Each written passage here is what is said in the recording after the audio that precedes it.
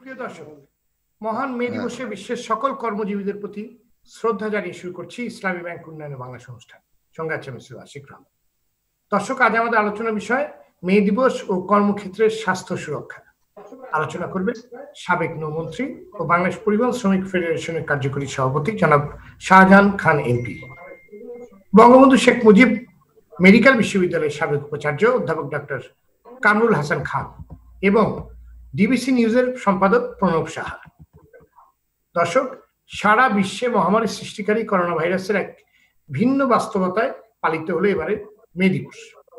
উন্নয়ন ও অর্থনীতির চাকা সচল রাখতে হলে উৎপাদন ব্যবস্থা চালু রাখতে হবে।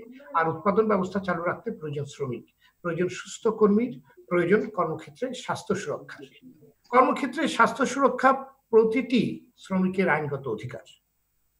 শ্রম আইনের বিভিন্ন ধারায় কর্মক্ষেত্রে কর্মীদের মানসম্মত, ব্যক্তিগত সুরক্ষা সরঞ্জাম ব্যবহারের বিধান রয়েছে। কিন্তু করোনার এই সময় কর্মীদের ব্যক্তিগত সুরক্ষা সরঞ্জাম কতটুকু নিশ্চিত করা হচ্ছে তা নিয়ে উঠেছে প্রশ্ন। কর্মক্ষেত্রে স্বাস্থ্য সুরক্ষার প্রয়োজনীয় এবং মানসম্পন্ন উপকরণের অভাবে ইতিমধ্যে বহু চিকিৎসা কর্মী করোনা আক্রান্ত হয়েছেন। আক্রান্ত হয়েছেন পুলিশ, ব্যাংকার সহ বিভিন্ন পেশাজীবী। বাদ যায়নি কলকারখানা শ্রমিকরাও। এদিকে সারা বছর শ্রমিক কল্যাণ ফান্ডের নামে পরিবহন শ্রমিকদের কাছ থেকে এবং রাস্তার বিভিন্ন পয়েন্টে শ্রমিক সংগঠনের নামে বাস, ট্রাক থেকে চাঁদা আদায় করা হলেও লকডাউনের এই সময় পরিবহন শ্রমিকদের দুর্দিনে শ্রমিক নেতা কিংবা সংগঠনগুলো এগিয়ে আসছে না বলে অভিযোগ করছেন পরিবহন শ্রমিকরা।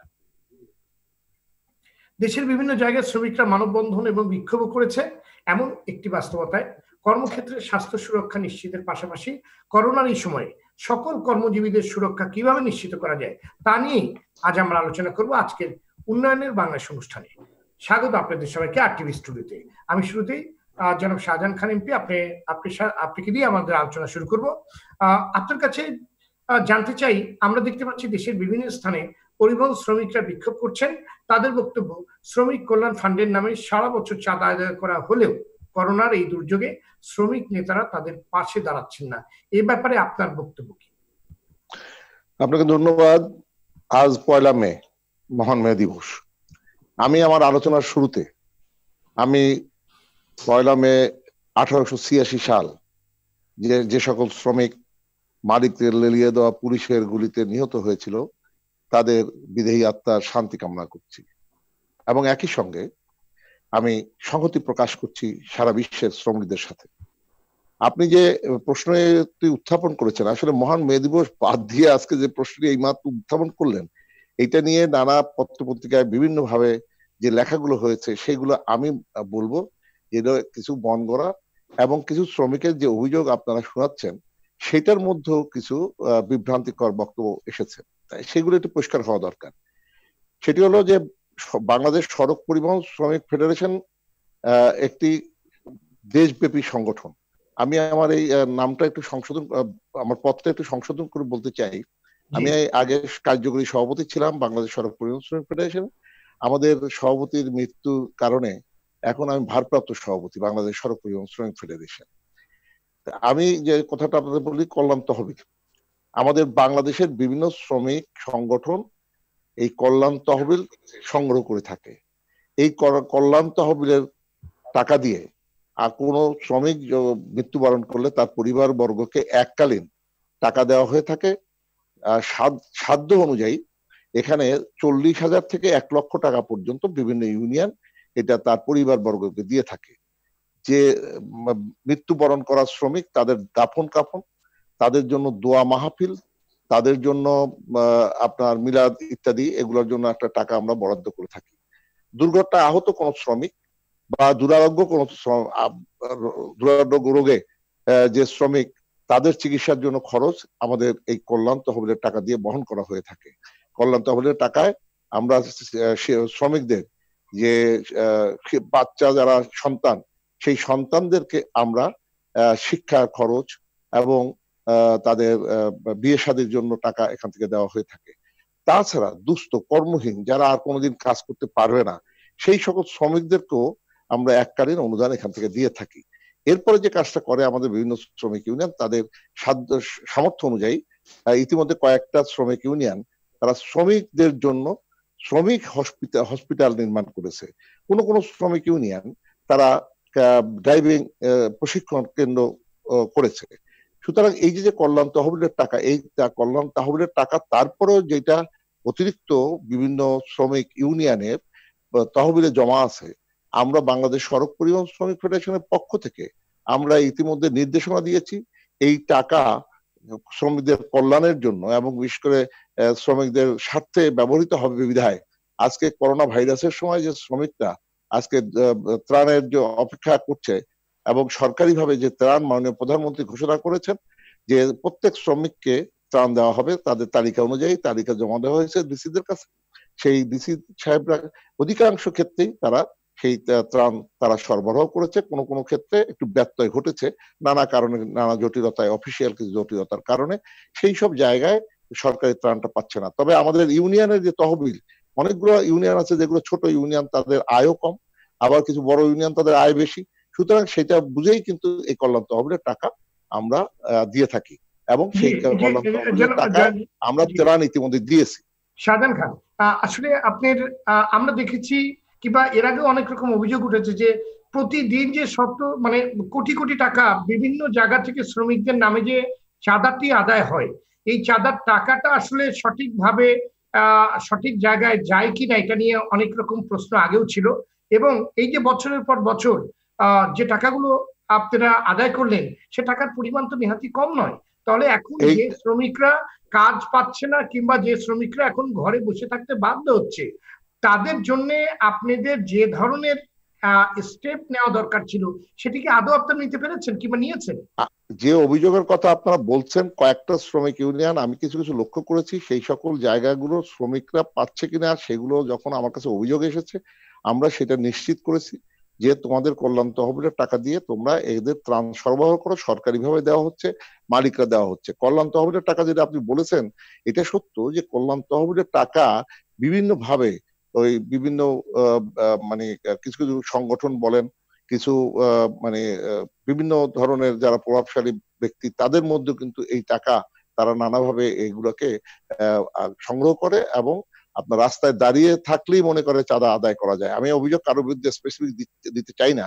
কারণ এগুলো নিয়ে আমাদের মধ্যে অনেক ধরনের বিভ্রান্তিকর বক্তব্য এসেছে, আমি লক্ষ্য করেছি এবং এইটা দূর করার জন্য আমরা ইতিমধ্যে স্বরাষ্ট্র, মাননীয় স্বরাষ্ট্রমন্ত্রীর সঙ্গে কথা বলেছি, মাননীয় সড়ক পরিবহন মন্ত্রীর সঙ্গে কথা বলেছি এবং ইতিমধ্যে এই কল্যাণ তহবিলের নামে যে কল্যাণের অতিরিক্ত টাকা আদায় চাঁদাবাজি যেটা একটা হলো চাঁদা, একটা হলো চাঁদাবাজি। এই চাঁদাবাজি যারা করছে, তাদের অধিকাংশ জায়গা কিন্তু চাঁদাবাজি আমরা বন্ধ করে দিয়েছি পুলিশের সহায়তা এবং মাননীয় স্বরাষ্ট্রমন্ত্রী আমাদেরকে এই ব্যাপারে সহায়তা করেছেন।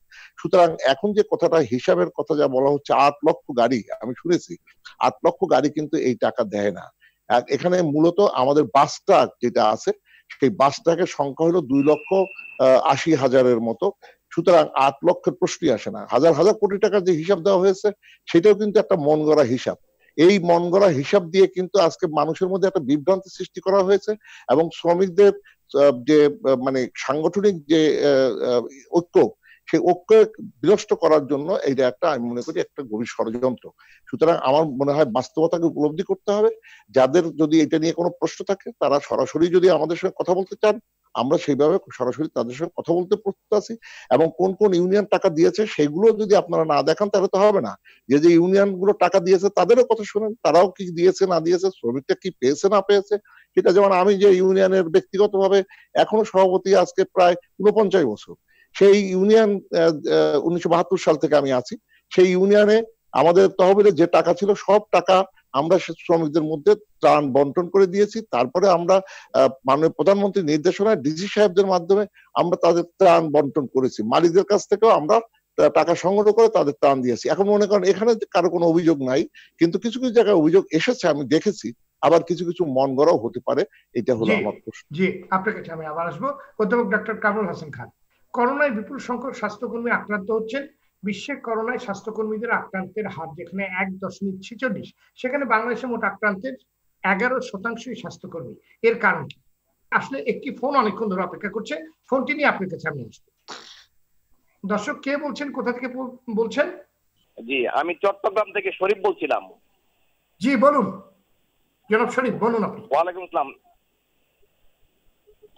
জি আমার মাননীয় মন্ত্রী সাহেবের কাছে আমার একটা প্রশ্ন। এই শুধু এই যে রাস্তাঘাটে যে চাঁদাবাজি হয়, এই চাঁদার কাদের নির্দেশে হয়? এটা কারা নিয়ন্ত্রণ করে? আমি শুধু একটা উদাহরণ দেই। চট্টগ্রাম দেওয়ানহাট মোড়ে শুধু টেম্পু স্টেশন থেকে ডেলি আশি হাজার টাকা চাঁদাবাজি হয়। টেম্পুটা ঘুরে আসলে তাকে দশ টাকা দিতে হয়। এই টাকাটা কে বা কারা নেয়? কেন নেয়? এই টাকার মালিক কে? আর আরেকটা নাম্বার টু এই এইরকম সারা বাংলাদেশে আছে প্রত্যেকটা মোড়ে মোড়ে। আমলিক যুবলীগ ছাত্রলীগ নামদারি যারা আছেন ওনারা এগুলি করে থাকেন। মন্ত্রী মহোদয় যারা আছেন জনাব শরীফ আপনার প্রশ্নটি আমরা বুঝতে পেরেছি। আপনার প্রশ্নের উত্তর আমরা আহ, খোঁজার চেষ্টা করব। আমরা নিশ্চয়ই জনাব শাহজাহান খানের কাছেই আমরা আসব। আপনার কাছে প্রশ্নের উত্তরটি নিয়েই আমরা অধ্যাপক ডাক্তার কামুল হাসান খানের কাছে যাব। শাহজাহান শাহজাহান শরীফ জনাব শরীফ সাহেব যা বলেছেন, তিনি নিশ্চয়ই এই বাস্তবতাকে তুলে ধরেছেন এবং এই, এখান থেকে রাস্তায় যে চাঁদাবাজি হয় না, আমি কথা বলিনি কিন্তু। যে চাঁদাবাজি কিন্তু হয়। চাঁদা এবং চাঁদাবাজির মধ্যে পার্থক্য হলো, সাংগঠনিকভাবে যে সিদ্ধান্ত নিয়ে যে টাকাটা সংগ্রহ করা হয়, যেমন প্রত্যেকটা, আপনি যেমন, আপনি একজন সাংবাদিক, আপনার নিশ্চয়ই একটা সমিতি আছে। আপনার যে গঠনতন্ত্র, সেই গঠনতন্ত্র মোতাবেক কিন্তু আপনি একটি চাঁদা আপনার সমিতিকে দিয়ে থাকেন। এখানেও ঠিক তদ্রু আমাদের একটা সাংগঠনিক যে ব্যবস্থা সেটা কিন্তু এখানে আছে। আমরা এটা সরকারিভাবে রেজিস্টার্ড সংগঠন। এই সংগঠনের একটা যে গঠনতন্ত্র, সেই গঠনতন্ত্র উল্লেখ আছে। আমি আমার শ্রমিকদের কাছ থেকে কত নেব? তারপরে আমরা বিভিন্ন শ্রমিক ইউনিয়ন, তারা নিজেরা সিদ্ধান্ত নিয়ে আমরা শ্রমিকদের কাছ থেকে একটা চাঁদা যেমন আমরা মানে নির্ধারণ করে দিয়ে থাকি কল্যাণের জন্য। এখন এই কল্যাণের জন্য যে টাকা, সেটা আমরা কিন্তু নির্ধারণ করে দিয়েছি বিশ টাকা। আপনার শরীফ সাহেব যেটা বলেছেন, ওটা অত্যন্ত সত্য কথা। অনেক অনেক শ্রেণির মানুষ যারা এর মধ্যে জড়িয়ে পড়ে এবং তারা তাদের নিজেদের আখের গুছাবার জন্য এই চাঁদাবাজি, অর্থাৎ এটার অতিরিক্ত যে টাকাটা নেওয়া হয়, সেটাই হলো চাঁদাবাজি। এই চাঁদাবাজি কিন্তু অনেকে করে থাকে, এটা সত্য। এখন প্রশ্ন হলো যে, আমাদের যে কল্যাণের টাকা, সেটা কিন্তু আমাদের মূলত একটা বিশ টাকা। এটা কিন্তু সারা বাংলাদেশের যে শ্রমিক সংগঠনগুলো সেই সংগঠনগুলো তাদের নিজেদের সদস্যদের কাছ থেকে নেয়ার কথা। কোনো কোনো ক্ষেত্রে আমরা লক্ষ্য করেছি সেটা সদস্যদের বাইরে অনেক সময় যেটা ওই উনি যা বলেছেন আমি কারও কারও ব্যক্তিগত নাম বলতে চাই না কোনো সংগঠনের নাম বলতে চাই না অনেকে এর মধ্যে জড়িয়ে পড়েন নানাভাবে। সুতরাং এই কথাটাকে একদম উড়িয়ে দেওয়া যাবে না। এটার বন্ধ করার জন্য ইতিমধ্যে আমি বলেছি আপনার কাছে মাননীয় স্বরাষ্ট্রমন্ত্রীর মাধ্যমে। আমরা ইতিমধ্যে এইগুলো অধিকাংশ জায়গায় কিন্তু বন্ধ করে দিয়েছি। আমি আপনাদের এইটুকু বলতে পারি, এই করোনা ভাইরাসের এই মহামারী আমাদের থেকে দূর হওয়ার পরে আমি ইনশাল্লাহ আমাদের এই, এইটা পরিবহন সেক্টরে চাঁদাবাজি সেটাকে আমরা বন্ধ করতে পারব। জি, ধন্যবাদ। আপনার কাছে পরে আবার আসব। অধ্যাপক ডক্টর কামরুল হাসান খান, আপনার কাছে যে প্রশ্নটি আমার ছিল যে বাংলাদেশে আক্রান্তের সংখ্যা এত বেশি কেন? বাংলাদেশে মোট আক্রান্তের মানে যেখানে আপনার বিশ্ব করোনায় স্বাস্থ্যকর্মীদের আক্রান্তের হার যেখানে এক দশমিক ছেচল্লিশ, সেখানে বাংলাদেশে মোট আক্রান্তের এগারো শতাংশই স্বাস্থ্যকর্মী। এর কারণ কি? ধন্যবাদ আশিকুর রহমান। আজকে এই মহান মে দিবসে আমি সমগ্র বিশ্বের মেহনতি মানুষের প্রতি শ্রদ্ধা জানিয়ে আমি আপনার কথার জবাব দিতে যাচ্ছি।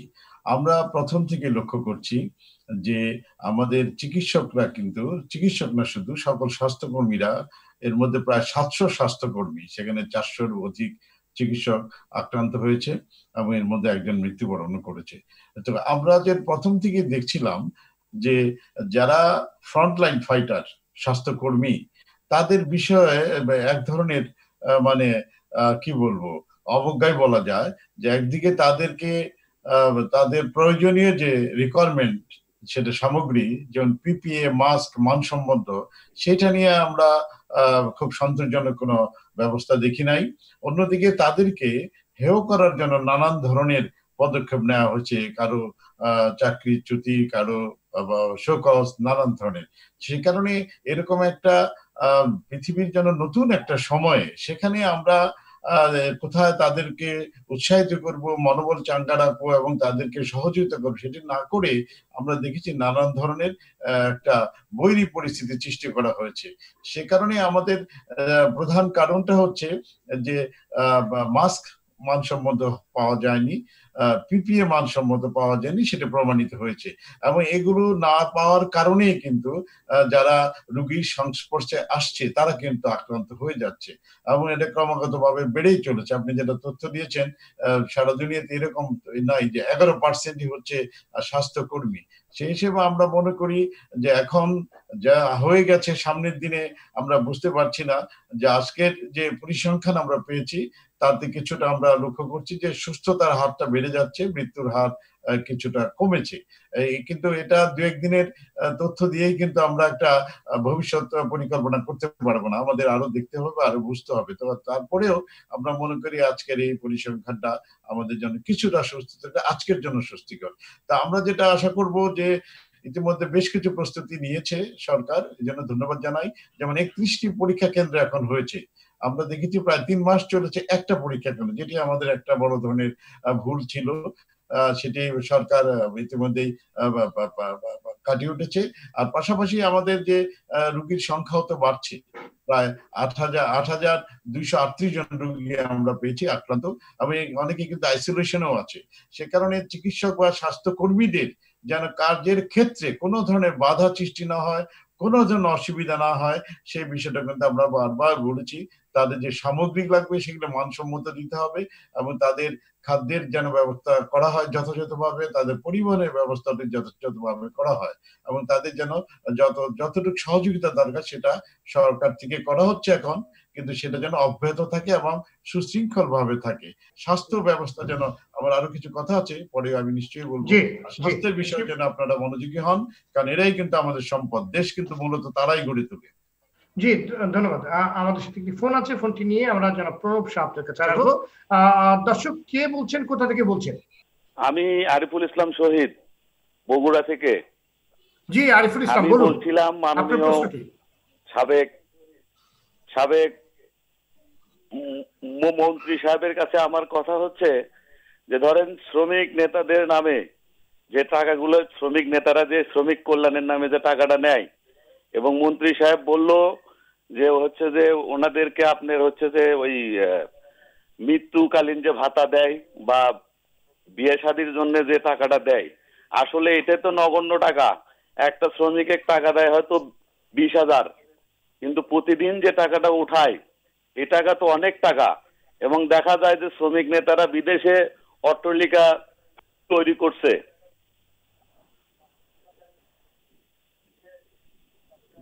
জি। এরকম নদীরও আছে। তা আমি মাননীয় মন্ত্রী সাহেবের কাছে আমার যে কথা সেইটা হচ্ছে যে আগামী দিনে যে আপনি গার্মেন্টস খুলে দেওয়া হলো বারবার বলতিছে যে হচ্ছে যে আপনার যে ঢাকাতে যে শ্রমিকেরা আছে সেই শ্রমিকেরাই শুধু কাজ করবে। কিন্তু গার্মেন্টস মালিকরা তাদের তাদের লোকজন দিয়ে জি ধন্যবাদ। আপনার প্রশ্নটি আমরা বুঝতে পেরেছি। আমরা নিশ্চয়ই জনাব শাহজাহান খানের কাছে আপনার প্রশ্নটি নিয়ে আসব। প্রণব শাহ প্রণব শাহ কর্মক্ষেত্রে কর্মীদের স্বাস্থ্য সুরক্ষার বিষয়টি কতখানি গুরুত্বপূর্ণ বলে আপনি মনে করেন? প্রথমত আমি আজকের এই মে দিবস শেষ হয়ে যাচ্ছে আমাদের। সেই মে দিবসে সারা বিশ্ব এবং অবশ্যই আমাদের বাংলাদেশের সকল মেহনতি মানুষের প্রতি আমার লাল সালাম। আপনি কর্মক্ষেত্রে সুরক্ষার কথা বলছেন এবং স্বাস্থ্য সুরক্ষার কথা। সুরক্ষা স্বাস্থ্য সুরক্ষা সবই বলছি। এবং সব রকম সুরক্ষা। আমাদের জীবনের সুরক্ষা যদি আপনি বলেন। সেই জীবনের সুরক্ষার ক্ষেত্রে আপনি যদি বলেন দেখেন আমরা শুরু করেছিলাম যে শ্রমিকদের কথা দিয়ে তাই না? এবং আমরাও কিন্তু এখন পর্যন্ত গণমাধ্যমের মানুষের কিন্তু শ্রম আইনের মধ্যেও আছি। আমরা শ্রম আইনের মধ্যে আছি। তাহলে সেক্ষেত্রে আপনি যদি দেখেন যে কতটি মানুষ কতজন সাংবাদিক এই মানে শ্রমিক হিসেবে কাজ করি আমরা যখন, তখন আমরা কি সুরক্ষা পাই? আমাদের কি সকলের জীবন বীমা আছে? আমাদের কি সকলের সাধারণ বীমার অন্তর্গত? আমাদের কি কোনো কল্যাণ তহবিল আছে? একটি কল্যাণ তহবিল অবশ্যই সরকারের আছে, কিন্তু তার সুবিধা কতজন মানুষ পান? আমি জানি না যে আমাদের সর্বশেষ প্রয়াত করোনায় আক্রান্ত আমাদের হুমায়ুন কবির খোকন, সে কোনো কল্যাণ তহবিলের কাছে কোনো সাহায্য সহযোগিতা পাবে কিনা? আমরা সেটি দাবি করি সবসময় এবং অবশ্যই আমাদের শুধু মরে গেলে না আমাদের কর্মক্ষেত্রে যে সুরক্ষা, আপনি জানেন যে বাংলাদেশের সাংবাদিকদের এখন পর্যন্ত নিয়োগপত্রের ক্ষেত্রে কিন্তু এখন পর্যন্ত বড় ধরনের সমস্যা আছে। আমাদের একটি কোন, আমাদের একমাত্র শ্রমিক মানে সাংবাদিক শ্রেণি, যাদের কোনো গ্রাচুইটির কিন্তু কোনো ব্যাপার নাই, পেনশনও নাই। গ্রাচুইটি অল্প কয়েকটি হাতে গোনা প্রতিষ্ঠান, টেলিভিশন বা সংবাদপত্রে আছে, বেশিরভাগই কিন্তু কোনো গ্রাচুইটি বা পেনশনের কোনো ব্যাপার নাই। আমরা সেরকম জিনিসটি আশা করি এবং এই সুরক্ষার ব্যাপারটি যদি না থাকে তাহলে এই যে আমরা এই করোনা কালেও দেখবেন সকল ঝুঁকি নিয়ে কিন্তু কাজ করেছে জন্য হুমায়ুন কবির খোকন প্রয়াত হয়েছেন, আক্রান্ত হয়ে এবং সুচিকিৎসাও তিনি খুব বেশি পেয়েছেন বলে আমরা বলতে পারব না। আরেকটি আমি এইমাত্র খবর পেলাম যে তার সন্তান এবং তার স্ত্রীদেরও পরীক্ষা করা হচ্ছে। তারাও যদি সত্যি সত্যি পজিটিভ হয়, তাদেরকেও কিন্তু এখন চিকিৎসার আন্ডারে নিতে হবে হাসপাতালে। আমরা সেই খোঁজ খবর করছিলাম একটু আগেই সাংবাদিক নেতা শাবান মাহমুদের সাথে আমার কথা হচ্ছিল। এই যে একটা অবস্থা এবং বিশেষ করে চাকরি চলে যাওয়া কিন্তু আমরা দেখছি। যখন আমরা মে দিবস আজকে পালন করছি, সকল টেলিভিশনে সকল সংবাদপত্রে খুব জোরের সঙ্গে আমরা শ্রমিক মেহনতি মানুষের কিন্তু ছবি ছাপিয়েছি রিপোর্ট করেছি। খুব প্রশংসা করলেন কামরুল হাসান খান আর টিভির মে দিবসের রিপোর্টটি কিন্তু আমাদের যারা সাংবাদিক, তাদের কি এই এই করোনার মুহূর্তেও কিন্তু আমরা চাকরি চলে যেতে দেখছি। একাধিক টেলিভিশন থেকে পত্রিকার ছাটাই হচ্ছে টেলিভিশনে ছাটাই হচ্ছে, সেই কাজের সুরক্ষাও কিন্তু আমাদের নাই। একটা তো শ্রমজীবী হিসাবে যে তাদের যে সুরক্ষা, স্থায়ী সুরক্ষা সেটি তো নাই, তাৎক্ষণিকভাবে চাকরি চলে যাওয়ারও কিন্তু সুরক্ষা এখন পর্যন্ত আমরা নিশ্চিত করতে পারিনি। এটা নিয়ে আমরা সবসময় কথা বলছি, আমাদের ইউনিয়ন বলছে, আমাদের বিভিন্ন সংগঠনগুলো বলছে, সেই সুরক্ষাও কিন্তু আমাদের নাই। এটা অবশ্যই আমরা বলব যে এই ক্ষেত্রে সব থেকে ভঙ্গুর অবস্থা আছে কিন্তু বাংলাদেশের সাংবাদিক সমাজ। তাদের কিন্তু অনেক প্রতিষ্ঠানে নিয়োগপত্র ঠিকভাবে দেওয়া হয় না এবং যখন তখন চাকরি খাওয়ার ক্ষেত্রে সব থেকে বেশি আমি বলব যে দুর্বল অবস্থায় আছে কিন্তু বাংলাদেশের সাংবাদিকরা। বিভিন্ন নতুন সংগঠন হচ্ছে নতুন টেলিভিশন হচ্ছে, নতুন পত্রিকা হচ্ছে, নতুন অনলাইন পোর্টাল হচ্ছে, কিন্তু সাংবাদিকের সংখ্যা পাচ্ছে কিন্তু সাংবাদিকদের কিন্তু মর্যাদাই বলি বা তাদের সুরক্ষাই বলি। চাকরি স্থায়ীকরণ, চাকরি নিয়োগপত্র, চাকরি শেষে তার চাকরি যদি কারও, চাকরি চলেও যায়, কোনো বিনা কারণে বা কারণ সহ সেখানে কিন্তু কোনো বেনিফিট সে পায় না। কারণ তার কোনো প্রভিডেন্ট ফান্ড নাই, বেশিরভাগ জায়গায়, এবং তাদের কোনো গ্র্যাচুইটি নেই। ফলে আপনি যদি আমাকে চাকরি থেকে চাকরিচ্যুত করেন, আপনি কিন্তু আমার হাতে কোনো টাকা দেন না। আমি কিন্তু একেবারে বেকার এবং পরের দিন অনেকে এমনও আছে যে পরের মাসের বাড়ি ভাড়া কীভাবে দেবে, সেটাও কিন্তু থাকে না। ফলে সেই অবস্থা থেকে কিন্তু আমরা সকল শ্রমজীবীর পক্ষে, সকল মানুষের পক্ষে, সকল মেহনতি মানুষের সুরক্ষার জন্য কিন্তু আমরা বেশি কথা বলি, কিন্তু আমাদের সাংবাদিকদেরই কিন্তু সুরক্ষা খুব কম। আমরা জানি না হুমায়ুন কবির যে চলে গেলেন, সে তার সন্তানদের জন্য কি রেখে যেতে পেরেছে। আমরা সাংবাদিক সমাজ, আমাদের ইউনিয়ন, আমাদের কল্যাণ তহবিল, আমাদের সরকার, তার জন্য কি দিতে পারবে? আপনি জানেন যে এখন পর্যন্ত করোনা শুরু হওয়ার তিন মাসের মধ্যেও আমরা এখন পর্যন্ত প্রণোদনার ক্ষেত্রে একমাত্র সাংবাদিকদের জন্যই কোনো ঘোষণা আমরা এখনও পাইনি। যদিও আমাদের সাংবাদিকও কিন্তু একজন মারা গেলেন করোনায় আক্রান্ত হয়ে এবং উনি কিন্তু অফিস করেছেন এবং আমাদের সবাই অনেকে জানিয়েছেন যে উনি ঝুঁকি নিয়ে অফিসে যেতেন, এমনকি নিজস্ব ট্রান্সপোর্ট মানে গণপরিবহনও উনি ব্যবহার করেছেন। তাহলে এই যে সুরক্ষা থেকে আমরা বঞ্চিত হয়ে একজন সাংবাদিক যে শহীদ হয়ে গেলেন করোনার এই কাজ করতে করতে, আপনি জানেন এখন পর্যন্ত আমরা অনেক প্রতিষ্ঠান জানি, আমাদের প্রায় তিরিশ জনের উপরে সাংবাদিক আক্রান্ত আছেন। অনেক পত্রিকা অফিস লকডাউন করে বাড়ি থেকে তারা কাজ করছে। অনেক টেলিভিশন আলাদা নানা রকম পরামর্শ করে নানা রকম ব্যবস্থা নিয়ে কিন্তু আমরা জীবনের ঝুঁকি নিয়ে আমাদের রিপোর্টাররা হাসপাতালে যাচ্ছে রুগীদের সামনে যাচ্ছে। এমনকি যেখানে করোনার রুগীদের নমুনা সংগ্রহ করা হচ্ছে সেই পর্যন্ত কিন্তু আমার সাংবাদিক ভাইরা আমার রিপোর্টাররা কিন্তু মাঠে কাজ করছে। ফলে সেই সুরক্ষার ব্যাপারটি আমাদের সামনে আসা উচিত আমরা দেখলাম একজন চিকিৎসক যিনি কর্মরত অবস্থায় মানসম্ম মানসম্পন্ন আপনার সম্মত একটি চিকিৎসা সামগ্রী পিপি কিংবা মাস্ক না পাওয়ায় উনি প্রতিবাদ করেছিলেন বলে উনাকে আপনার বদলি করে দেওয়া হয়েছে ওএসডি করা হয়েছে। এটাকে মুগ্ধ হাসপাতালের পরিচালক মুগ্ধ হাসপাতালের পরিচালক যদিও সরকার থেকে মানে স্বাস্থ্য মন্ত্রক থেকে নানা ব্যাখ্যা দেওয়া হয়েছে। নানা ব্যাখ্যা দেওয়া হয়েছে কিন্তু সেই ব্যাখ্যাটা যে গ্রহণযোগ্য হয় না এই কিন্তু সমাজের সবাই জানে। কারণ একটি বাক্সের মধ্যে ঢুকিয়ে অন্য একটি মাস চলে গেল এবং সেটি ওষুধ, কেন্দ্রীয় ওষুধ সংরক্ষণগার থেকে একটি হাসপাতালে সেই দায়িত্ব কিন্তু কেউ নিলেন না। এমনকি আমরা এটিও জানি, যেটি যারা এটি সরবরাহ করেছেন, সেই প্রতিষ্ঠানটি কিন্তু পত্রিকায় বিজ্ঞাপন দিয়ে বলেছেন যে তারা মানবিক কাজের সঙ্গে জড়িত, তাদের জন্য আমরা হেয় করে কোনো সংবাদ প্রকাশ না করি। কিন্তু দেখেন সেই প্রতিবাদ করতে গিয়ে কিন্তু একজন চিকিৎসক ওএসডি হলেন। আমরা কি সেই চিকিৎসকের সেবা থেকে বঞ্চিত হলাম না? উনি যদি ওএসডি হয়ে যে কারণেই হোক না কেন, যদিও আমরা মনে করি যে সেই প্রতিবাদের কারণে উনি হয়েছেন কিন্তু সে কারণে উনি যদি এখন ওএসডিও হন, তাহলে কিন্তু আমরা একজন চিকিৎসকের সেবা থেকে আমরা বঞ্চিত হলাম। কিন্তু সেই জন্য আমরা মনে করি যে তাকে আবার কোথাও বহাল করা উচিত যাতে সে মানুষকে চিকিৎসা দিতে পারে। আর যদি যদি সত্যি যে ঘটনাটি ঘটেছিল, তার তদন্ত কিন্তু আমরা দেখলাম না এবং তার জন্য যারা দায়ী, যদি সত্যি একটি বাক্সের মধ্যে আরেক রকমের মাছ ঢুকিয়ে দেওয়া হয়, তার দায় দায়িত্ব কাউকে না কাউকে তো নিতে হবে। আমরা দেখছি যে ত্রাণের ত্রাল চুরি করায় বা নয় ছয় করার জন্য কিন্তু ইউনিয়ন পরিষদের সদস্য চেয়ারম্যান বরখাস্ত হচ্ছেন। কেউ কেউ গ্রেপ্তারও হচ্ছেন। কিন্তু মাস্কের ঘটনাটি এমন একটি ঘটনা ঘটে গেল, যিনি প্রতিবাদ করলেন বা অভিযোগ করলেন তিনি ওএসডি হলেন, কিন্তু যারা ঘটনাটি ঘটিয়েছিল, তাদের কোনো শাস্তি হলো কিনা, সেই কিন্তু আমাদের কোনো তথ্য আমরা পাচ্ছি না সরকারের কাছেও। আর আপনি আরেকটু শেষ করব, আর এই পর্যায়ে এখানে কিন্তু শ্রম আইনে পরিষ্কার ভাবে বলা আছে যে আপনার সুরক্ষার জন্য যে জিনিসগুলো সরবরাহ করা প্রয়োজন, সেগুলো দিতে হবে। এবং আসলে এটার ব্যাখ্যা কি হতে পারে? প্রতিবাদ করলেই যদি সুরক্ষা সামগ্রী পাওয়া আইনগত অধিকার সেটা নিয়ে প্রতিবাদ করলে যদি ওএসডি হয়ে যায় তাহলে এটা কি কি ধরনের বার্তা দিচ্ছে আসলে? না বার্তা তো খুব ভালো বার্তা দিচ্ছে না ওটা পরিষ্কার। বরঞ্চ নানা রকম অপব্যাখ্যা দেওয়া হচ্ছে সেটা সমাজের কারও কাছে গ্রহণযোগ্য হয় নাই এই সমস্ত কাজ এই কাজের যে সমস্ত ব্যাখ্যা আমরা সংবাদ সম্মেলনে এবং স্বাস্থ্য মন্ত্রণালয়ের কর্মকর্তাদের কাছে পেয়েছি সেটা আমরা আমাদের দায়িত্বের সঙ্গে প্রচার করেছি কিন্তু মানুষ এটি গ্রহণ করে নাই। সেই বার্তাও কিন্তু আমরা দিয়েছি যে আপনারা অনেক ব্যাখ্যা দিয়েছেন কিন্তু মানুষের কাছে এটি গ্রহণযোগ্য হয়নি। আপনি সোশ্যাল মিডিয়া থেকে শুরু করেন আমাদের টেলিভিশন পত্রিকা কিন্তু বলেছে যে মানুষ এটাকে গ্রহণ করে না সেই ব্যাখ্যাকে। ফলে সুরক্ষা দেওয়ার বিষয়টি কিন্তু নিশ্চিত করতে হবে নাহলে কিন্তু চিকিৎসক সমাজ সম্মুখ সারির যোদ্ধারা কিন্তু এবং এখন যাচ্ছেন যে পুলিশও কিন্তু আক্রান্ত হচ্ছে। এখন পর্যন্ত চারজন পুলিশ সদস্য কিন্তু মারা গেছেন। তাদেরকেও আমরা খুব বেশি সুরক্ষায় দেখছি না। আর আমি আরেকটি প্রশ্ন একটি করে আমি শেষ করব এই পর্যায়ের বক্তব্য। শুরুতে আমাদের সম্মানিত সংসদ সদস্য সাবেক মন্ত্রী শাহজাহান খান এবং দীর্ঘদিনের অভিজ্ঞ শ্রমিক নেতা উনি বলেছেন যে বিশ টাকা করে যে কল্যাণ তহবিলের জন্য যে যৌক্তিক বা জায়েজ করা চাঁদা নেওয়া হয়, এক লক্ষ সত্তর হাজারের মতন উনি পরিবহন বলেছেন। যদি প্রতিদিন এক লক্ষ পরিবহন থেকেও সেই চাঁদা হয় বিশ টাকা করে, তাহলে বিশ লক্ষ টাকা প্রতিদিন এবং এক মাসে সেটি ছয় কোটি টাকা, এক বছরে সেটি বাহাত্তর কোটি টাকা। আমরা একটু জানতে চাই বিনীত হবে ওনার কাছে যে এটার কোনো ট্রাস্টি বোর্ড আছে কিনা এই টাকাটা কীভাবে খরচ হলো এবং উনি বলছেন যে কিছু কিছু দেওয়া হচ্ছে। আমরা বিনীত অনুরোধ করব তার সাথে সংবাদ মাধ্যমে প্রচারের ব্যবস্থা করে যে এই টাকা থেকে কত টাকা কীভাবে কোন শ্রমিকদেরকে দেওয়া হলো।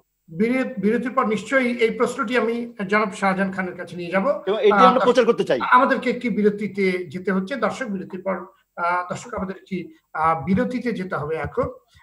আমরা ইসলামী ব্যাংক উন্নয়নে বাংলাদেশ অনুষ্ঠানে আপনার উন্নয়নে বাংলাদেশ অনুষ্ঠানে আছি। আমরা ফিরছি অল্প সময়ের মধ্যেই।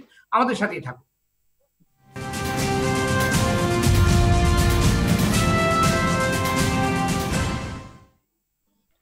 দর্শক, বিরতির পর আবারও স্বাগত ইসলামী ব্যাংক উন্নয়নে বাংলাদেশ অনুষ্ঠানে। সঙ্গে আছে আমি সৈয়দ আশিক রহমান। আজ আমরা কথা বলছি মে দিবস ও কর্মক্ষেত্রে স্বাস্থ্য সুরক্ষা নিয়ে। আলোচনা করছেন সাবেক মন্ত্রী ও বাংলাদেশ পরিবহন শ্রমিক ফেডারেশনের কার্যকরী সভাপতি জনাব শাহজাহান খান ভারপ্রাপ্ত সভাপতি ভারপ্রাপ্ত ভারপ্রাপ্ত সভাপতি। বঙ্গবন্ধু শেখ মুজিব মেডিকেল বিশ্ববিদ্যালয়ের সাবেক উপাচার্য অধ্যাপক ডক্টর কামরুল হাসান খান এবং ডিবিসি নিউজের সম্পাদক প্রণব সাহা। ফিরছি আলোচনায়। জনাব শাহজাহান খান আপনার আপনার কাছে বিরতির পূর্বে একটি প্রশ্ন ছিল। প্রণব সাহা অনেকগুলো প্রশ্ন আপনাকে করেছেন? আপনি যদি প্রশ্নগুলোর উত্তর করেন। এবং একজন দর্শকও আমাদের ছিল বগুড়া থেকে। শাহজাহান খান। আপনাকে একজন দর্শক উনি যে প্রশ্ন করেছেন আমনুল ইসলাম আমি পুরোটা বুঝতে পারিনি। তবে ওনার এটুকু বলতে চাই যে আমি কিন্তু আমাদের যে কল্যাণ তহবিলের টাকা কীভাবে খরচ হয় সেটা কিন্তু আমি বলেছি। আরেকটা বিষয় হলো যে এই যে চাঁদার যে হিসাব বা চাঁদাবাজির যে হিসাব বা এই হিসাব কিন্তু কোন সংগঠন কি বলতে পারবে যে জনসমক্ষে এগুলা দিয়ে থাকে? কোন সংগঠন। আপনারা সাংবাদিক সংগঠন করেন। আমাদের ডাক্তাররা ডাক্তারের সংগঠন আছে। প্রত্যেকটি। কেউ কি দেয়? দেয় না। বরং তারা নিজেদের যে সংগঠন সেইটা করেন এবং অথরিটি যে যে সংগঠন রেজিস্ট্রেশনটা দেয়, তাদের কাছে একটা বাৎসরিক রিটার্ন জমা দিতে হয়। সেই রিটার্ন কিন্তু আমাদের শ্রমিক ইউনিয়নগুলো সরকারের কাছেই জমা দিয়ে থাকে। সরকার যদি সেটা প্রকাশ করতে চায়, সেটা করতে পারেন। সেটা ভিন্ন কথা। তা আমি যে কথাটা বলতে চাচ্ছি, সেটা হলো যে প্রথমে একটু আমি প্রথমে আন্তরিকভাবে মর্মাহত যে সেবামূলক যে কয়টা সেক্টর আছে, যেমন পরিবহন, সাংবাদিক, পুলিশ হসপিটাল তারপরে আপনার রেস্তোরাঁ, এই যে সেবামূলক প্রতিষ্ঠানগুলো, তারা কিন্তু মানুষের সেবা দেওয়ার জন্যই। সুতরাং সাংবাদিক, ডাক্তার, পরিবহন, এগুলো কিন্তু এই মুহূর্তের জন্য খুবই ভাইটাল একটা জায়গা, ডাক্তার সহ, পরিবহন সহ ইত্যাদি। এইখানে যারা সেবা দিয়ে এ পর্যন্ত চারজন পুলিশ ইন্তেকাল করেছেন এবং একজন সাংবাদিক বন্ধু তিনিও এই তার সেবা দিতে গিয়েই কিন্তু ইন্তেকাল করেছেন। স্বাভাবিকভাবেই কিন্তু এই যে আজকে যারা ইন্তেকাল করেছেন, তারা কিন্তু শ্রদ্ধার পাত্র। আমি তাদের আত্মার শান্তি কামনা করি এবং তার তাদের প্রতি আমার শ্রদ্ধা জানাই। আমি একটা বিষয় বলতে চাচ্ছি যে প্রণব সাহা বিষয়গুলো অত্যন্ত সুন্দরভাবে বলেছেন। তার ব্যাপারে লাস্টে যে কথাটা উনি বলেছেন, এইটা সম্পর্কে আমি বলতে চাই যে, আমি কিন্তু একটা ব্যাখ্যা আপনাদের দিয়েছি। চাঁদাবাজিতে পরিবহন সেক্টরে হয় না, আমি কথা বলিনি কখনো। মালিকরাও করে, শ্রমিকদের নামে হয়, মালিকদের নামে হয় এর বাইরেও কিছু কিছু ঘটনা আছে যেটা আর এখানে প্রকাশ করতে চাই না। তবে একটা আমার জীবনের ঘটনা, আমি যখন মন্ত্রী ছিলাম তখন বিআইডব্লিউটি এর সঙ্গে আমাদের এক সাংবাদিকের একটি অপ্রীতিকর ঘটনা ঘটেছিল। তখন আমি এটা মীমাংসা করার দায়িত্ব নিয়েছিলাম, এটা নিরসন করা। আমার মন্ত্রণালয়ে বসেছিলাম, অনেক সাংবাদিক বন্ধু সেখানে উপস্থিত ছিলেন। কথায় কথায় উঠল, গোলমালটা কি নিয়ে শুরু হলো? তাই এর মধ্যে সাংবাদিকদের মধ্যে একজনে বললেন যে আসলে আমাদের মধ্যে কিছু হলুদ সাংবাদিক তো আছে, যে সে তারা বিভিন্ন জায়গায় হয়তো এই ধরনের ঘটনা ঘটিয়ে থাকতে পারে এই জন্য তারা দুঃখ প্রকাশ করলেন। আমার, আমি তাৎক্ষণিক প্রশ্ন করলাম, ভাই, হলুদ সাংবাদিকটা কি? হলুদ সাংবাদিক হলো যারা সাংবাদিকতার নামে বিভিন্ন জায়গা থেকে যে সহযোগিতা নিয়ে থাকে, আমি আর উৎকোষ বা অন্য কিছু বলতে চাই না, সহযোগিতা নিয়ে থাকে, সেই সাংবাদিকদেরকে আমরা হলুদ সাংবাদিক বলে থাকি। ভালো কথা। এখন আমার প্রশ্নটা হলো প্রণব বাবুর কাছে যে আসলে যে যে হলুদ সাংবাদিক, এই ব্যাখ্যাটা আমি কিন্তু ওখান থেকে পেয়েছি। এটা সত্য কিনা আমি জানি না উনি বলতে পারবেন ভালো। তবে আমি সব সাংবাদিকের কথা বলতে চাই না। সাংবাদিক বন্ধুরা যথেষ্ট ভালো কাজ করে থাকে। পূর্ণবাবু যেটা বলেছেন, আমাদের সঙ্গে মে দিবসে উনি না, অনেক সাংবাদিকরা আমাদের সঙ্গে আসেন এবং আমাদের এই রিপোর্ট প্রচার করেন এবং আমাদের সঙ্গে খাওয়া দাওয়া করেন যেটা উনি বলেছেন এটা সত্য। সুতরাং আমি বলতে চাই যে আমাদের শ্রমিক এবং মালিকদের নামে যারা চাঁদাবাজি করে তাদের বিরুদ্ধে সরকারিভাবে ব্যবস্থা নেওয়ার জন্য ইতিমধ্যে আমরা মাননীয় স্বরাষ্ট্রমন্ত্রীকে বলেছি এবং উনি জনাব শাহজাহান খান। সকল হ্যাঁ, সেক্টরে কিন্তু ভালো মন্দ আছে এটা- এটা কিন্তু আপনি যেভাবে সাংবাদিকের উদাহরণ দিলেন সেটা মনে হয় খুব একটা আপনার কাম্য নয়। হয় কিন্তু আমার না, আ- আমার আপনি কথা হচ্ছে কি যে এমন ভাবে আ- সাংবাদিকের হলুদ সাংবাদিকতা কথা বলে আপনি মানে উদাহরণ দিলেন সেটা আমার কাছে গ্রহণযোগ্য আহ, মনে হচ্ছে না এবং গ্রহণযোগ্য হওয়া উচিত আমি মনে করি। না না এইটা যে আপনি- কথাটা বললেন আপনি আপনি নিজেই কিন্তু বলছেন, না, না, না, আশিক সাহেব, আশিক সাহেব, না না একটু কথা শুনেন। আশিক সাহেব আপনি নিজে বললেন। যে সব জায়গায় ভালো মন্দ থাকে। আমি তো সেটা বলেছি যে আমাদের মধ্যে ভালো মন্দ আছে আপনাদের মধ্যে ভালো মন্দ আছে। তাহলে আপনি যে ওই থেকে আপনি- হলুদ সাংবাদিক যে হ্যাঁ। সে যেটা করে সেটা কি চাঁদাবাজি কিনা এটা একটু ব্যাখ্যাটা দিয়ে আমি দিতে চাই। আশিক রহমান ব্যাখ্যাটা আমি দিয়ে দিই। শাহজাহান খান যেটি বললেন আজকের এই প্রসঙ্গে হলুদ সাংবাদিকরা বিষয়টি আসে না। হলুদ সাংবাদিক ইয়েলো জার্নালিজম এটা সারা পৃথিবীতে এই এই শব্দ এই টার্ম প্রচলিত আছে। তার সঙ্গে এই চাঁদাবাজির উদাহরণটা ঠিক না। কারণ যারা বিভ্রান্তিমূলক সংবাদ প্রচার করে উদ্দেশ্যমূলক সংবাদ প্রচার করে এবং কোনো একটি স্বার্থের কারণে কারও স্বার্থের পক্ষে সাংবাদিকতাকে ব্যবহার করে, অবশ্যই তারা সমালোচিত। তাদেরকে আমরা অবশ্যই হলুদ সাংবাদিক বাংলাদেশে এই জন্য বলে, আমাদের এই ব্যাপারে কোনো অসুবিধা নাই। কিন্তু আপনাকে দেখতে হবে, আপনি সাধারণ কথার পরিপ্রেক্ষিতে যদি এটা টেনে আনেন, তাহলে তো আমাদেরকে রাজনীতিবিদদের বিরুদ্ধে বলতে হয়। তাহলে আমাদের তো চাঁদাবাজ, পরিবহন শ্রমিক নেতাদের বিরুদ্ধে বলতে হয়। তাহলে তো আমাদেরকে চাঁদাবাজ পরিবহন মালিকদের বিরুদ্ধে বলতে হয়। আমরা তো সেই জন্য গড় করে সাধারণ সরলীকরণ করে কোনো কথা বলিনি। আমি স্পষ্ট বলেছি আপনার কল্যাণ তহবিলের যে টাকা আদায় হয় সেই টাকার হিসাবটা যদি দেন আমরা গণমাধ্যমে সেটা প্রচার করলে হিসাবটা কে আপনাদের দেবে? স্বচ্ছতা বাড়বে। আমরা হিসাব দিয়ে থাকি। আমি আমি আরেকটু বলি আমাদের রিপোর্টার ইউনিটি প্রতি মাসে তার টাকা কোথায় কি খরচ হয় কত আয় হয় তার হিসাব প্রতিটি সদস্যের কাছে পাঠায়। আমাদের প্রেস ক্লাবের প্রতি বছর অডিট হয়। আমরা সেটার হিসাবেও দিতে পারি। আমাদের সাংবাদিক ইউনিয়নগুলো প্রতি বছর তাদের অডিট হিসাব দেয়। কিন্তু তা আমাদেরকে কোনো ইউনিয়নের বিরুদ্ধে কোনো প্রেস ক্লাবের জাতীয় প্রেস ক্লাবের বিরুদ্ধে ঢাকা রিপোর্টার্স ইউনিটির বিরুদ্ধে চাঁদা অনেক জায়গা থেকে অবশ্যই আমরা নিতে থাকি। কিন্তু চাঁদাবাজি আমরা করি না। কোনো সাংবাদিক সংগঠন চাঁদাবাজি করে না। কোনো সাংবাদিক না, না, আপনি একটা ব্যাখ্যা দেন। নেতার বিরুদ্ধে সাংবাদিকতা না, না, আপনি একটা- কাছে আপনাদের না, না, আপনি একটা ব্যাখ্যা দেন। আপনি একটা ব্যাখ্যা দেন যে হলুদ সাংবাদিক আছে স্বীকার করলেন। হলুদ সাংবাদিকরা যে কাজটি করে থাকে সেটা কি চাঁদাবাজি? না চাঁদাবাজি নয়। আপনার সঙ্গে আমি একমত? সংগঠন প্রত্যেকটা সংগঠন তার চাঁদা কালেকশন করে এবং প্রত্যেকটি সংগঠন এই চাঁদা নিয়ে করে তাহলে এই হিসাবটা যেমন আপনি সরকারের কাছে দেন আপনার সদস্যদের কাছে দেন আমাদের প্রত্যেকটা ইউনিয়ন তাদের সাংবাদিক তাদের সদস্যদের কাছে আপনারা- মিটিং এর হিসাব দিয়ে থাকে এটা কি আপনি জানেন এই হিসাবটা আমরা দিয়ে থাকি আপনি যদি সেটা চান আপনি দেখেন আমরা তার হিসাব কিনা। আপনি কোথায় এক- বলে যাচ্ছেন ওই কথাটা কিন্তু কোনোভাবে ঠিক না আপনি যে কথাটা বলছেন আমি তো গ্যারান্টি দিয়ে বলতে পারি প্রত্যেকটা ইউনিয়নের হিসাব আছে এবং হিসাব জয়েন্ট মিটিং এ দেওয়া হয় এটা পত্রিকা ছাপানোর জন্য যদি আপনি চান আপনাকে আমরা দিয়ে দেবো। কিন্তু প্রশ্ন হলো যে আপনারা যে চাঁদাবাজিটা করেন সেটাও কিন্তু আপনাদের হলে না। হিসাবটা আমাদেরকে দেন। যে আপনি কত চাঁদাবাজি করেন আপনার আপনার যে সমস্ত হলুদ সাংবাদিক তারা কত চাঁদাবাজি করে ছত্র ছায়া যারা সাংবাদিকতা করে তাদেরকে আপনারা টাকা দেন। আপনাদের দুর্নীতি ঢাকার জন্য আপনাদের অবৈধ কাজ করার জন্য সেই তাদেরকে সেই সব সাংবাদিকদের টাকা দেন। যারা সাংবাদিকতার কলম চালায় যারা কথা বলে তাদের কাউকে টাকা দিচ্ছেন এই কথা বলতে পারবেন না আপনি বুকে হাত দিয়ে। আপনি দেন তাদেরকে যারা আপনাদের স্বার্থ প্রচার করে যারা আপনাদের স্বার্থে কাজ করে যারা আপনাদের কল্পিবাহক হিসেবে কাজ করে সেই লোকদেরকে সাংবাদিক দিয়ে এখন তাহলে আমার কথা শোনেন। না, আপনি যদি বলেই থাকেন তাহলে আমার কথা শোনেন। আমার কথা হলো। যে আপনি এভাবে বলতে পারবেন আপনার চাইতে বেশি গলাবাজি আমি করতে পারি। আপনি যে কথাগুলো বলে যাচ্ছেন আমি যা গ্যারান্টি দিয়ে বলতে পারি আমার প্রত্যেকটা ইউনিয়ন আপনি তাদের সদস্যদের কাছে তারা হিসাব দিয়ে থাকে? সেই হিসাব আমরা শ্রমিকদের কাছে দেই সরকারের কাছে দেই। আপনার কাছে দেওয়ার কথা আপনিও যেমন আমাদের কাছে দেবেন না আপনি যেমন সরকারের কাছে দেবেন আপনার সদস্যদের কাছে দেবেন আমরা তাই করে থাকি। আমার প্রশ্ন আমি সব সাংবাদিকদের কথা বলছি না। যে সকল সাংবাদিক আপনি যারা স্বীকার করেছেন যে সকল সাংবাদিক যারা হলুদ সাংবাদিকতা করে আমি তাদের বিরুদ্ধে কথা বলছি আপনার হ্যাঁ, বিরুদ্ধে আমি কথা বলছি। না। আপনাদের আমি- আমিও বলছি তাহলে আমাদের মধ্যে যারা চাঁদাবাজি করে তাদের বিরুদ্ধে আপনি বলেন। আপনি সকলের বিরুদ্ধে এই যে অভিযোগ। পারেন না। যে কথাগুলো আপনি এখানে আলোচনায় নিয়ে আসছেন সেটা অবশ্যই উদ্দেশ্যমূলক এবং আপনার যে সকল সাংবাদিকরা এই সকল রিপোর্ট লেখেন হাজার হাজার কোটি টাকা হিসাবে বসেন আমি আপনাকে গ্যারান্টি দিয়ে বলতে পারি যে আমি প্রমাণ করে দেবো আপনাদের এই তথ্য সম্পূর্ণ ভুল এবং আপনার উদ্দেশ্যমূলক ভাবে একটা সেক্টরকে সাধারণ মানুষের কাছে একটা ইয়ে তাদের বিরুদ্ধে ভয়ঙ্কর একটা চালিয়ে তাদেরকে যাবেন লিখি এবং হাজার হাজার কোটি টাকা অসুবিধা থেকে হাজার হাজার কোটি টাকা একটা ইউনিয়ন। বাংলাদেশে কত? আপনি কি জানেন? আমাদের ইউনিয়নের সংখ্যা প্রায় আড়াইশো। সেই আড়াইশো ইউনিয়ন কত টাকা কোথায় ওঠে? হিসাব আপনি আসেন। আমি বলেন দেন। কবে হিসাব আমি আপনাকে হিসাব। দিয়ে দেবো। কবে। বসবেন? কোন ইউনিয়নের সঙ্গে বসবেন?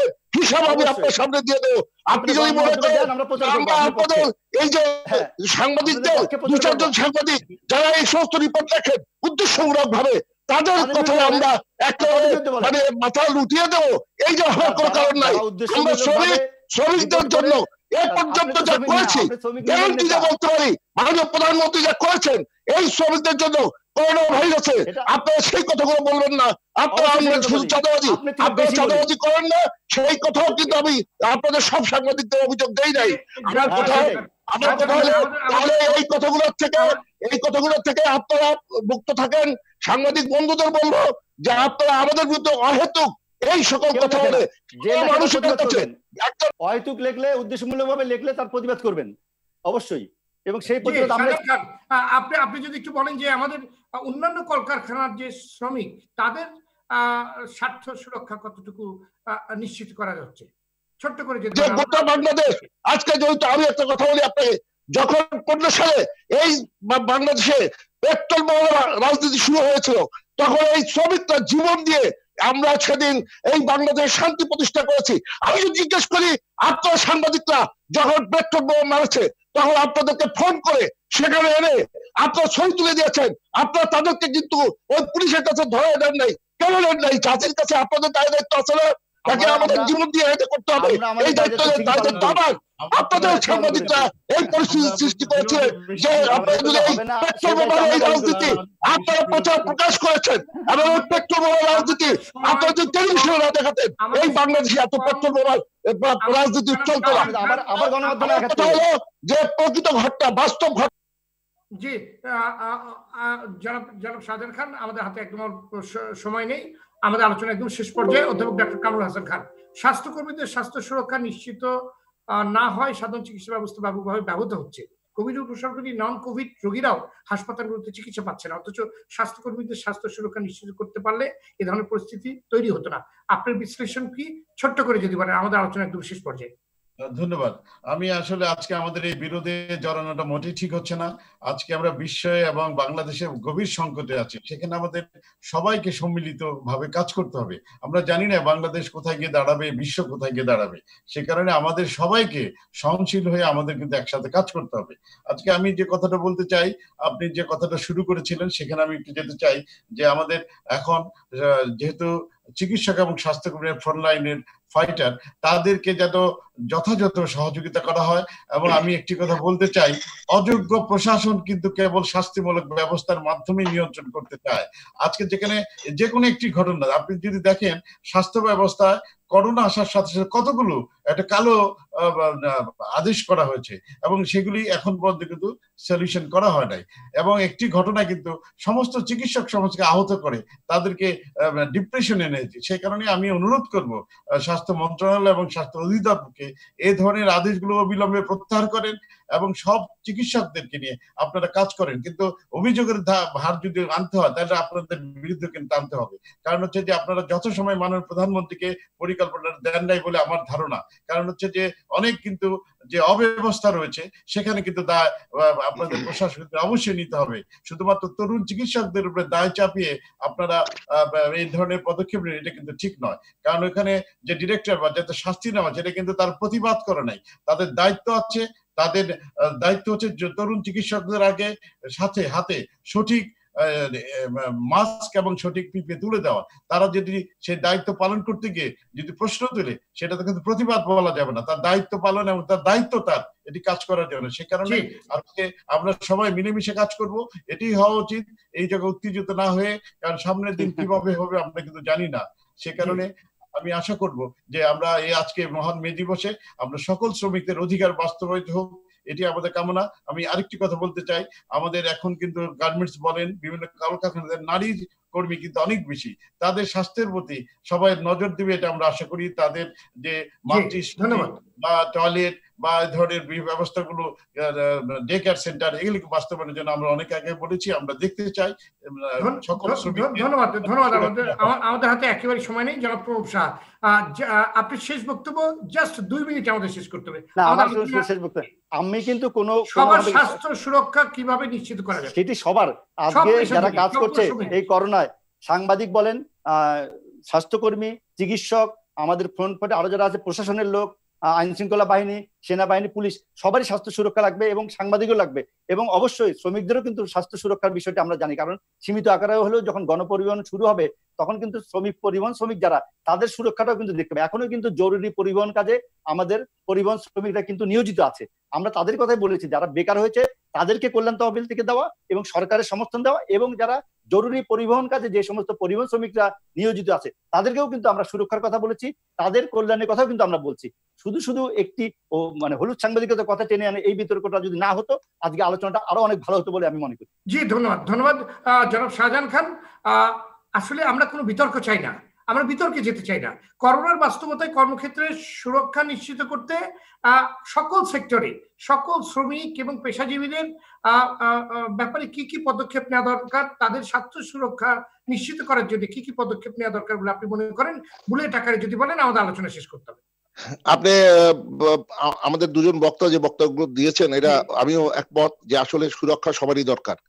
আজকে যেমন সাংবাদিক ডাক্তার পরিবহন তারপরে আপনার পুলিশ মিলিটারি যারা মাঠে কাজ করছে এবং যে সকল সরকারি কর্মকর্তারা তারাও কিন্তু আজকে সেখানে কিন্তু যেমন আপনি যখন ত্রাণ বিতরণ করে তখন কিন্তু অটোমেটিক্যালি কিছু লোক সেখানে জড়ো হয়ে যায়।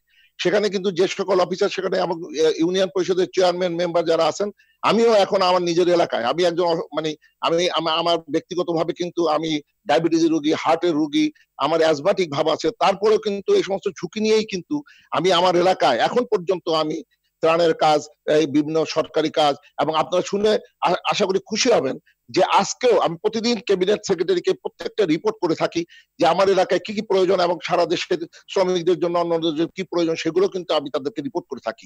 আজকেও করেছি। সুতরাং আমি মনে করি যে আমরা সবাই মিলে ঐক্যবদ্ধ হবে আজকে এই করোনা ভাইরাসের বিরুদ্ধে আমাদের লড়াই করতে হবে। এটাও একটা যুদ্ধ মনে করি। আমরা উনিশশো একাত্তর সালে মুক্তিযুদ্ধ করে দেশ স্বাধীন করেছি জাতির পিতা বঙ্গবন্ধু শেখ মুজিবুর রহমানের নেতৃত্বে।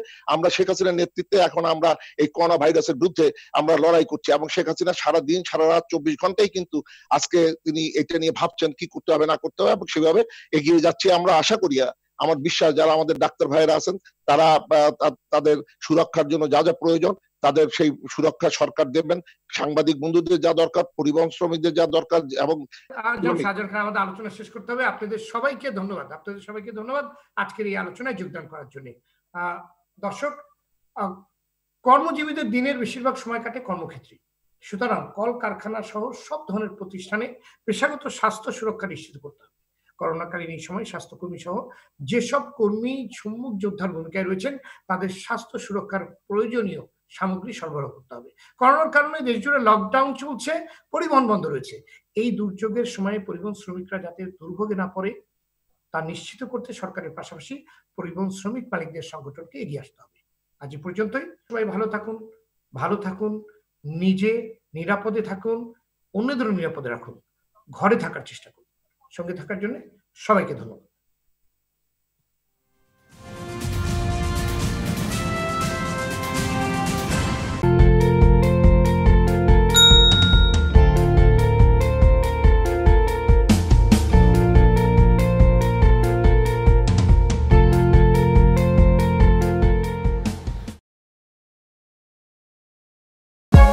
For more updates, subscribe and press the bell icon on YouTube app and never miss another update.